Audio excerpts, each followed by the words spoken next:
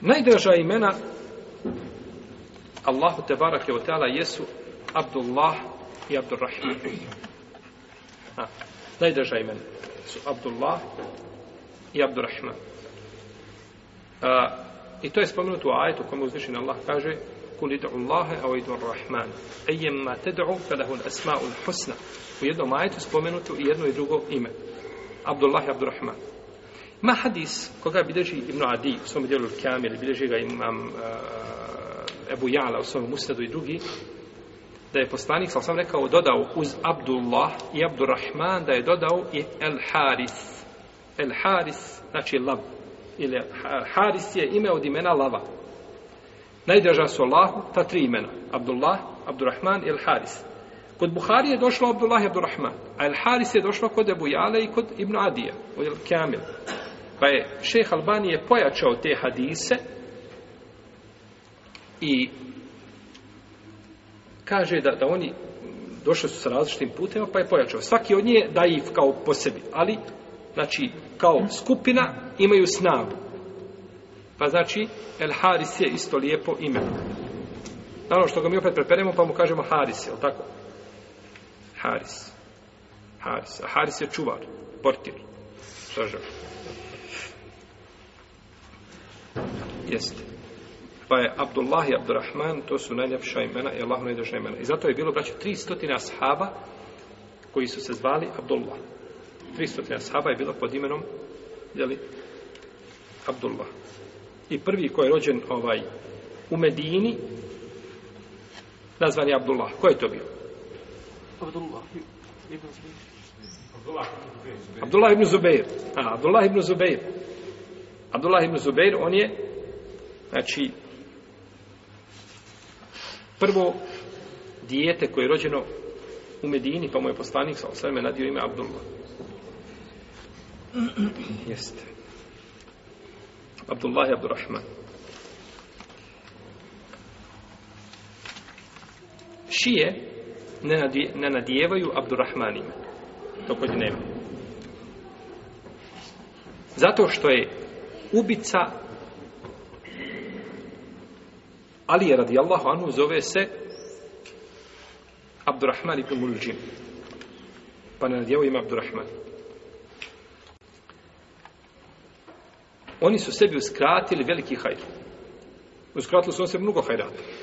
A i u ovome slučaju uskratili sebi hajr da nadjevaju ime Abdurrahman, to ime koje je Mubarek, koje je najdraži Allahu Tebarake o zato što je ubica nazvan, nazvan šta? Zato što je ubica nazvan Abdurrahman ibn Muljim, što mu ime tako. Znači, što god neko uradi od zla na dunjalu, ko treba, kakve veze ima ime s otim? Čovjek može znati, nositi ime, a da nikakve veze nema sa svojim imenom, je tako? Abdullah, a on Abdušeitan. Je tako? Nikakve veze nema to što nosi ime, nema nikakve veze sa njim.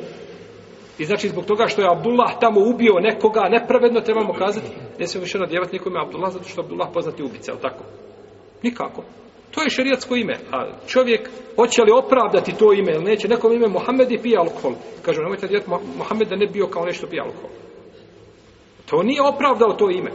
To je njegov problem. Ali ime kao ime ostaje lijepog značenja i pohvalno u šerijetu. Znači da se jeli da.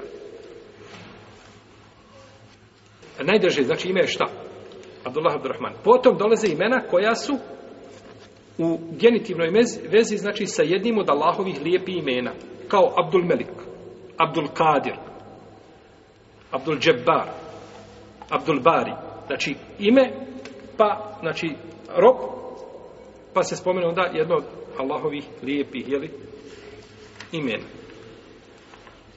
Potom, da se nadjevaju imena poslanika i vjerovjesnika.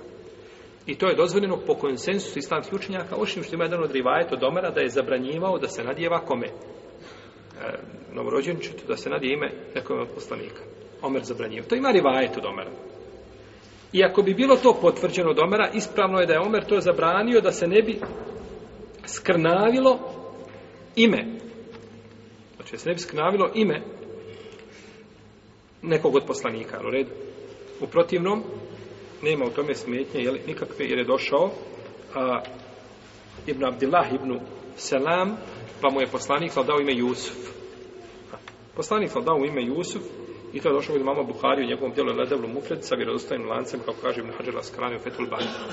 Pa nema smetnje, znači ako je to činio poslanik, nema smetnje, nema zabrane, čak što više, ako nećemo djeliti mene poslanika, čija onda imena da dajemo?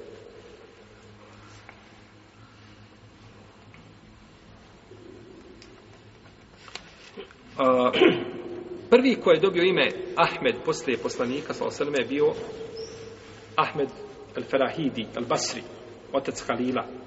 Njemu kažu da su prvo dali ime nakon, jeli, uh, ovaj, jer je poslanik jeli, u Kur'anu spomenut kao kao Ahmed. Potom dobrih Allahovih robova, a, to je koja da ređe? Četvrta, tako. Davanje znači imena dobrih Allahovih, znači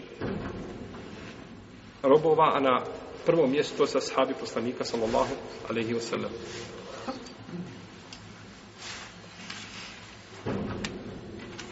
Svi hadisi u kojima se navodi ime, pohvala imena Ahmed ili Muhammed su daif. Svi hadisi kojima se navodi da je pohvala posebna za ime Ahmed ili Muhammed, oni su isto tako daif, nisu vjerodostojni.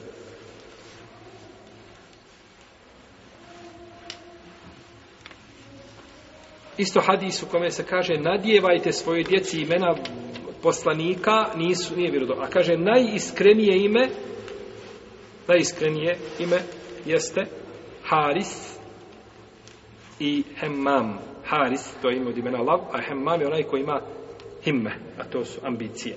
Ambiciozan čovjek. A, to se ime može da Haris i Hemmam, ali da uzmemo kao hadis, hadis je daif. Evo red, hadis nije potvrđen od poslanika, pa osam bilježi ga ima Mahmed Jebu Davud i on je neispravan. Iako ima ovaj, koliko sjećam da šeha Albani da u dijelu Ervaul Kalil ovaj hadis da je ovaj prihvatio. I peto je da se nadjevaju ostala lijepa imena koja su lijepog značenja i koja odgovaraju jeli dotičnoj osobi. A? Znači, da imena budu a, odgovarajuća u smislu da se ne daju ovaj momcima, muškarcima, znači nekakva, nekakva imena koja su ovaj, koja ga mazi. Da tako? Iz Malehna ga uvijek čini, znači po imenu ga čini, znači da je on ovaj uh, slabić nekakav i slično tome. Nego znači da se daju imena koja znači odgovaraju jeli njemu kao muškarcu.